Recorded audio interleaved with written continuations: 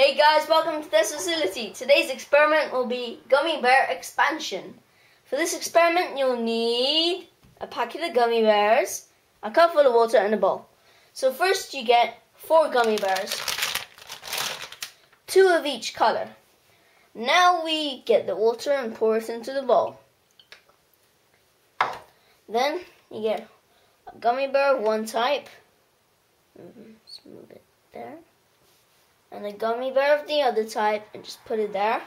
And then you put a gummy bear on each side to compare the size of the gummy bear that's in the water. Now we used um, two types of gummy bears to ensure to repeat the test to ensure for reli- reliable results.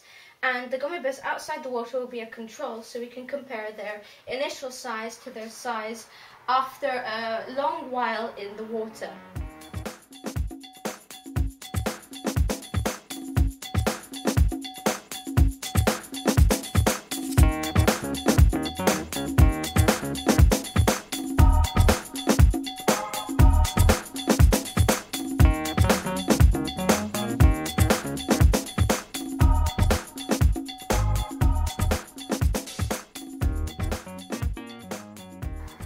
So guys, um, we left the gummy bears in the water for about 14 and a half hours overnight.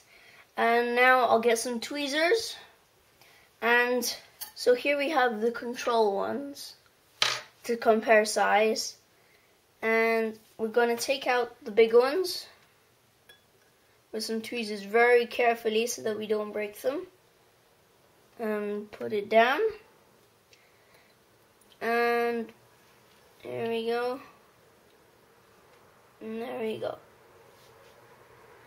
Now, the gummy bears have grown in size because of a process called osmosis.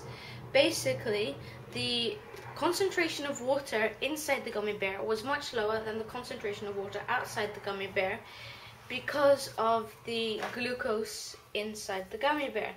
And the gummy bear has a partially permeable membrane on the outside which lets water go in and lets water basically diffuse into the gummy bear to make sure that the water concentrations are the same both inside and outside the gummy bear, thus making the gummy bear grow in size. Now, the reason why the gummy bear didn't essentially explode was because the partially permeable membrane is also a boundary and is a very strong boundary, so it doesn't let the gummy bear itself break.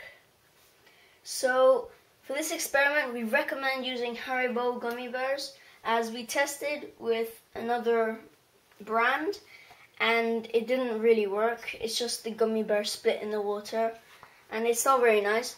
But I think these gummy bears are still edible and like you can just get a small pack of them and put them in water and then you get much bigger gummy bears. So we But- hope you liked this video. Um, like, subscribe, uh, comment below what you want us to do. Uh, tell us how you did it. Maybe you could try it. Uh, tell us what you think about it. And thanks for watching.